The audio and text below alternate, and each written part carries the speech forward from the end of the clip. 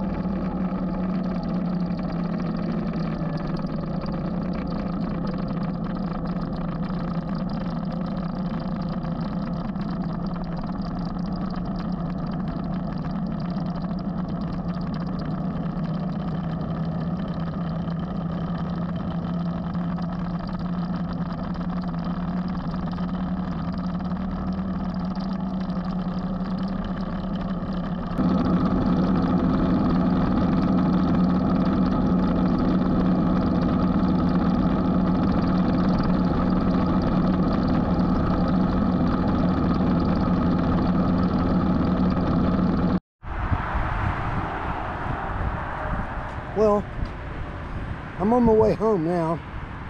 I'm on 441 coming over the pass between Cherokee and Franklin, North Carolina. Um, however, I'm not going to make it home before dinner time, so I thought a good way to add to my going home video would be to uh, would be to cook some dinner. Um, stick around and see what I'm making for dinner because it's going to be really good.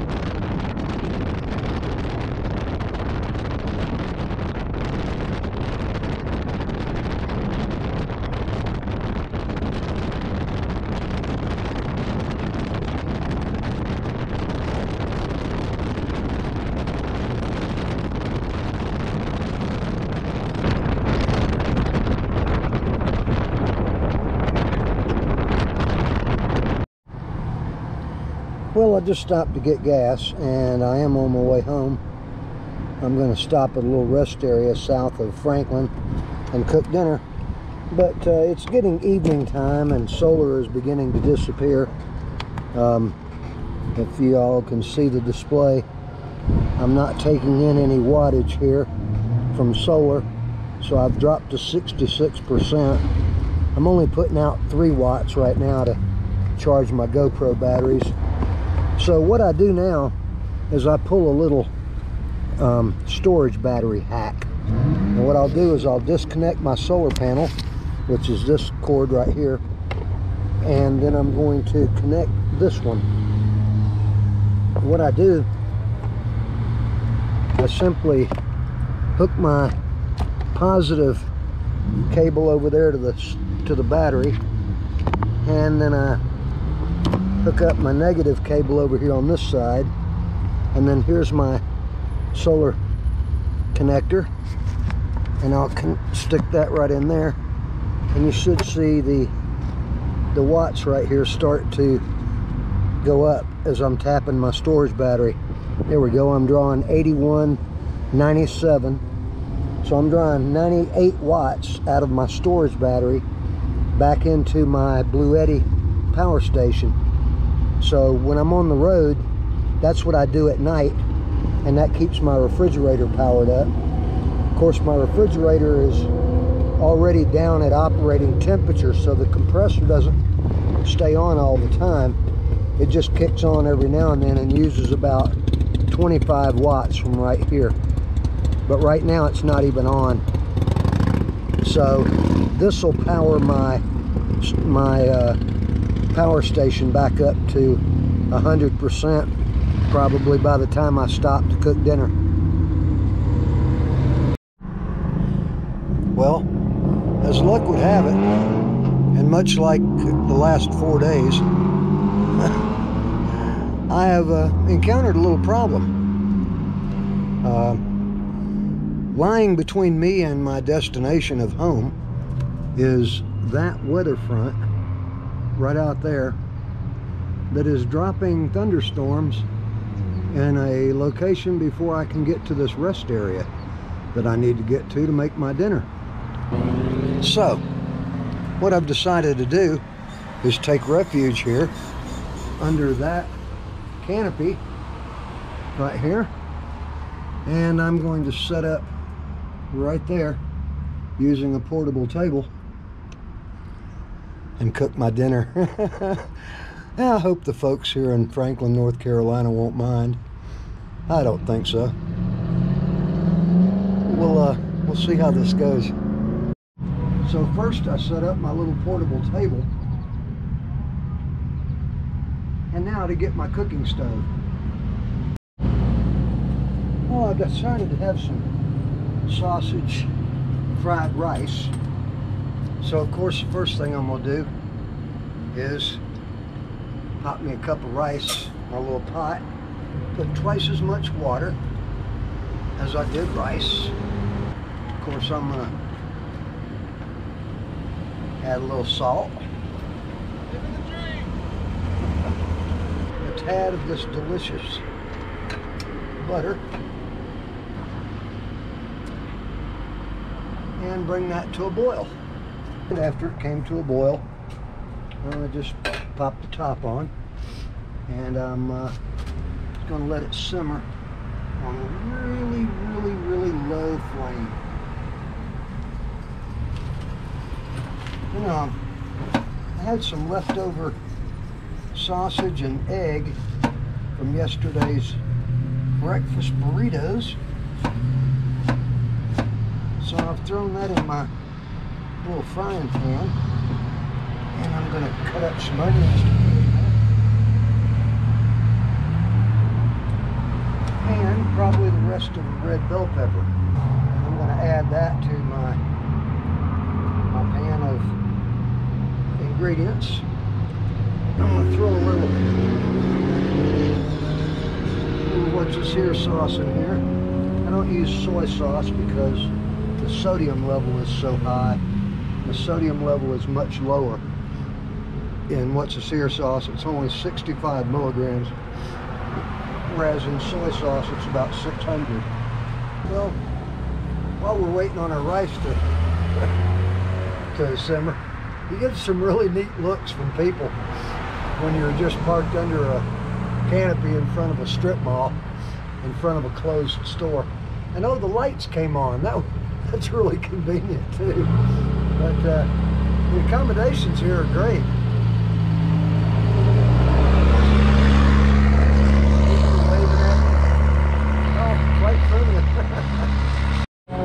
it looks like our rice has come along quite nicely.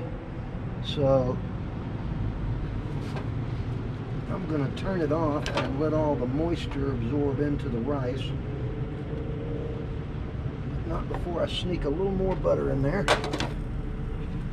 I'll bring y'all down get a little better angle. Um, this is my homebrew. Chili oil, sesame oil, Japanese mirin, and garlic. So I'm going to throw some of that in there.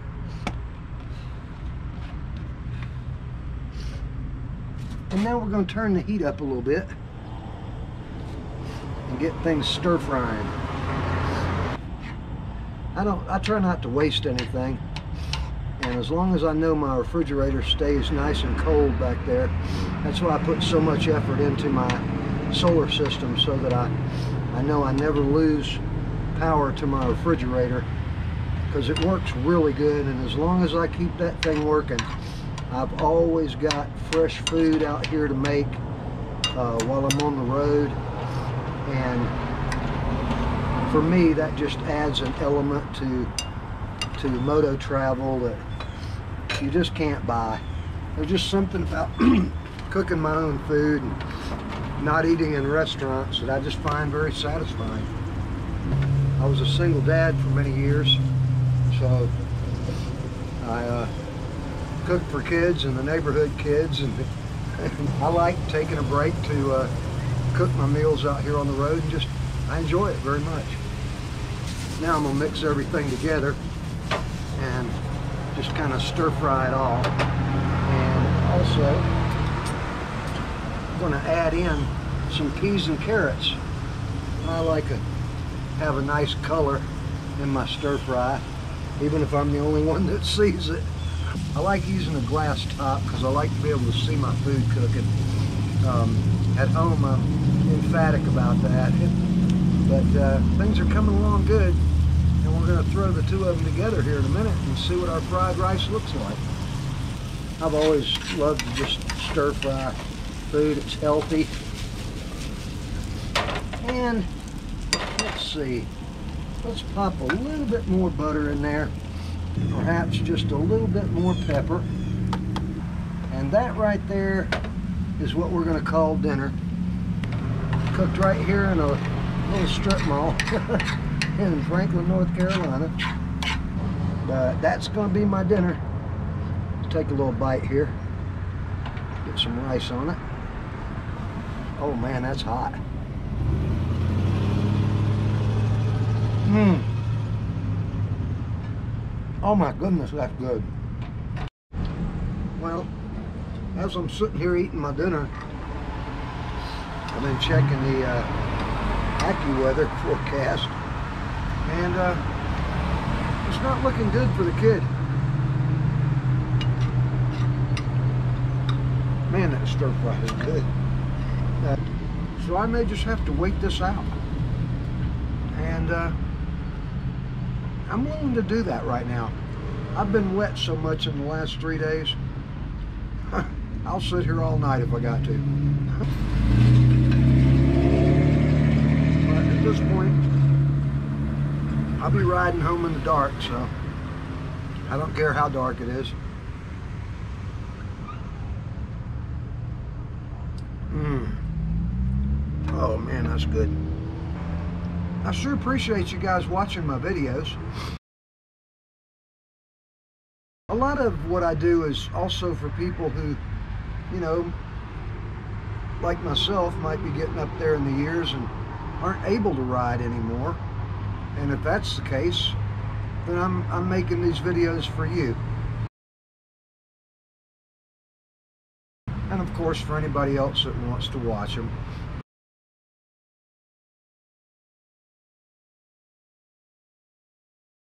I'm an old biker dude, man.